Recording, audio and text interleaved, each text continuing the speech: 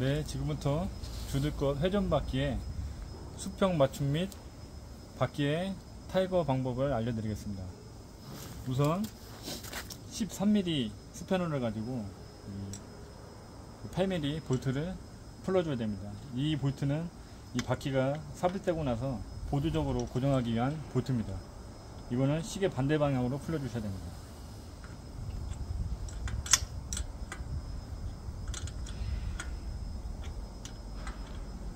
시계 반대 방향으로 한 2, 3mm 정도를 풀어주시고 그리고 회전 바퀴를 풀기 위해서는 적당한 높이의 박스 등으로 바퀴를 띄워주셔야 됩니다. 그리고 회전 바퀴를 풀기 위해서는 22mm 스패너가 필요합니다. 보통 이제 몽기도 가능하지만 몽기는 이 머리의 두께 때문에 이 사이에 들어가진 않습니다. 그래서 가급적이면 22mm 스패너를 사용해 주시기 바랍니다. 22mm 스패너를 이용해서 풀어야 되는데 이게 바퀴가 빠지면 안 되기 때문에 좀 단단하게 고정이 되어 있습니다. 그래서 돌렸을 때 시계 방향으로 돌렸을 때 잘 안 될 경우에는 그냥 일어서서 요령은 일어서신 다음에 발로 한번 차주시면 됩니다. 발로 차주시고 한번 풀렸을 경우에는 이렇게 이제 풀리는 경우가 있고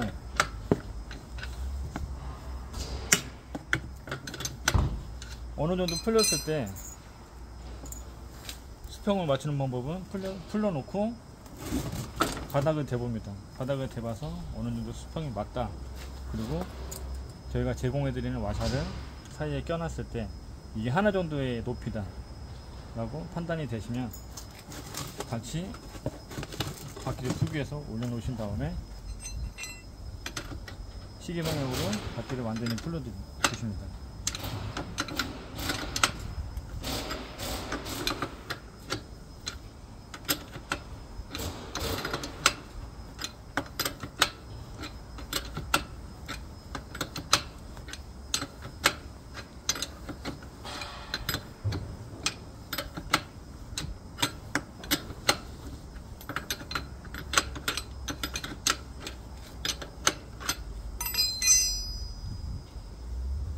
어느 정도 풀렸을 때는 손으로 풀릴 정도면은 손으로 빨리 풀어주시는 게 좋습니다.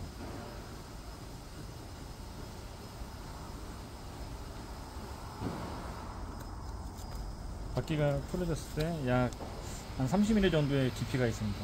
이때 와샤 하나 정도를 껴주시고 그대로 조립을 해주시면 됩니다. 마찬가지로 이 바퀴를 교환하실 때도 마찬가지로 바퀴만 새 걸로 받으셔서 그대로 껴주시면 됩니다.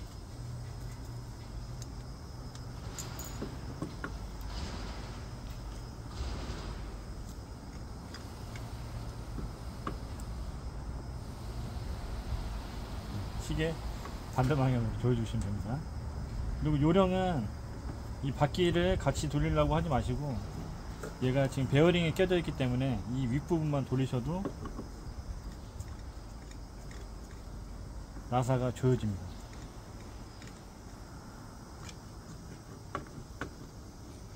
반대쪽 바퀴도 마찬가지로 같은 방법을 해주시고 다 껴주신 다음에는 마찬가지로 역순으로 얘를 다 조여주신 다음에 나중에 보조적으로 고정하는 이 8mm 보트를 쪼이는 방향 시계, 시계 방향입니다. 시계 방향으로 쪼여주시면 마무리가 됩니다. 이상입니다